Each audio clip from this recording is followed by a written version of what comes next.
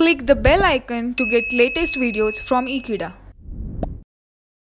Hello friends, I welcome you all to the subject electromagnetic field theory. In this subject, we are with the chapter that is transmission line chapter number 14 and up till now we have seen the equivalent circuit for a two-wire transmission line along with its equations. Now let us begin to see whether the transmission line if it is lossless so what are the parameters? What are the conditions into the transmission line equations? So let us see the topic.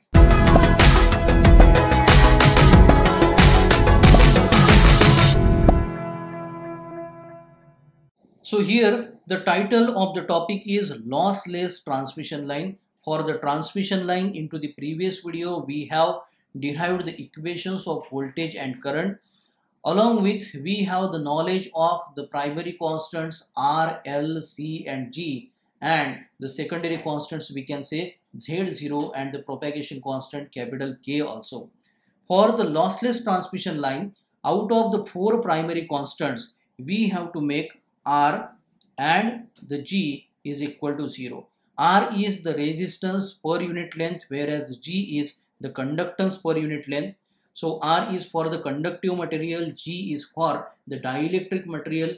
For the example of two wire transmission line we have taken the dielectric which separate out the two wires. So here R for the conductor and G for the dielectric material have to be equal to 0 so that time the transmission line is said to be lossless transmission line.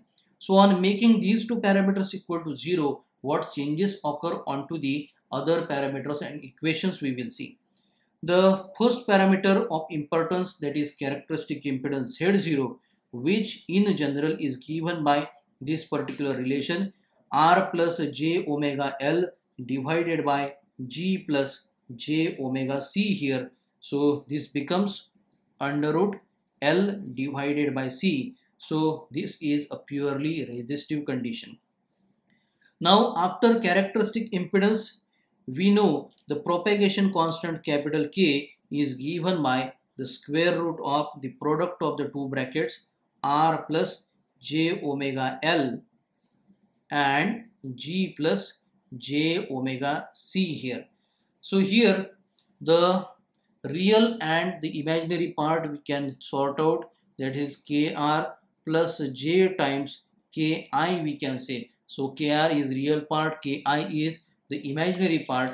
So for this particular case the lossless uh, transmission line the equation of propagation constant k will be simply j omega under root lc so here as we have the form kr plus j times ki we have here kr is equal to 0 so in general what we used to have alpha to represent the attenuation. So here attenuation is equal to 0 here whereas the ki having the value that is omega under root lc actually represents here beta value that is the phase constant that is the same omega under root.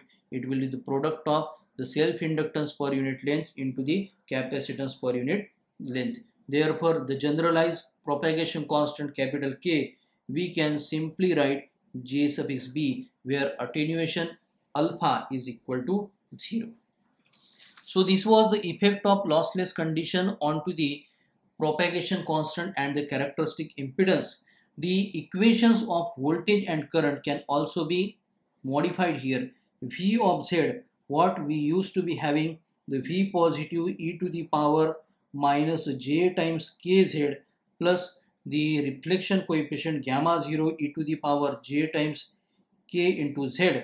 So this equation will become V positive e to the power minus j times beta z plus the reflection coefficient e to the power j beta into z here.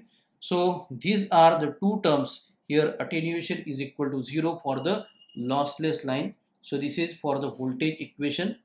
The corresponding current equation can be written that is I of Z is nothing but V positive divided by Z0 in bracket it will be e to the power minus j beta z minus reflection coefficient into e to the power j beta z. So here also the attenuation constant is supposed to be 0 for the lossless condition. So these are the two equations of voltage and current. So after knowing the characteristic impedance, the propagation constant and voltage and current equations, there is one more parameter that is to be uh, required while solving the problems you can say and for more knowledge of such lossless lines that is velocity of propagation. So this is also called as phase velocity v sub p.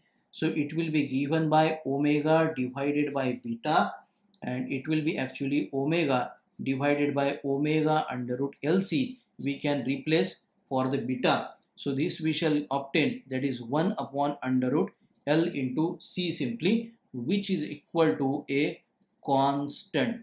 So the conclusion can be made that for the lossless line the phase velocity is having a constant value it will not be a varied one so it is independent of the frequency the velocity is independent of the frequency now the wavelength lambda can be represented by the phase velocity vp divided by the frequency this shall be measured into the meters here along with the phase constant the phase shift constant beta from this particular relation we can write omega divided by Vp. So this was all the information regarding the lossless transmission line. In the next video, we shall see what are the characteristic impedance and other parameters for the lossy transmission line.